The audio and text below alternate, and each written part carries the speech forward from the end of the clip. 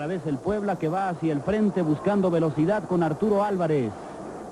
Ahora recibe Poblete, devolución de Aravena, Poblete en el disparo y gol en el minuto 85, Carlos Poblete, colocando al Puebla 4 por 0 al frente en el estadio Cuauhtémoc, marcador contundente, partido polémico. Guillermo Muñoz entra al área, crea el entrevero, da para Marteloto, tiro gol.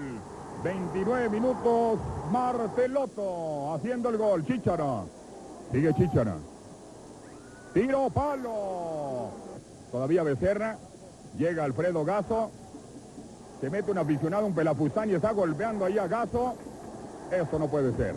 Esto no puede ser, definitivamente. Silbatazo de Gaso. Concluye el partido, llega la gente de Monterrey a tranquilizar. Otro pelafustán queriendo golpear. Esto es no saber perder. El Puebla está en semifinales. Cuando se llevaba disputado los primeros minutos, el techo de las tribunas comenzó a arder, lo que obligó a los espectadores a invadir el terreno de juego para escapar del humo y las llamas.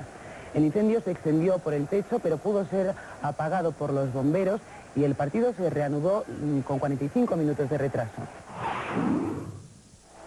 Macedo de bicicleta colocou tudo igual. Resultado final, São Paulo 2, Vasco da Gama também 2. Dia 6 de maio, São Paulo e Botafogo no Morumbi. Bernardo aproveitou o escanteio e fez, colocando São Paulo na liderança absoluta do campeonato naquela ocasião. Placar final, São Paulo 1, Botafogo 0. Primeiro jogo das semifinais, São Paulo e Atlético Mineiro, Mineirão, dia 27 de maio. Aí lançou Mário Filipe, que avançou e fez São Paulo 1 a 0.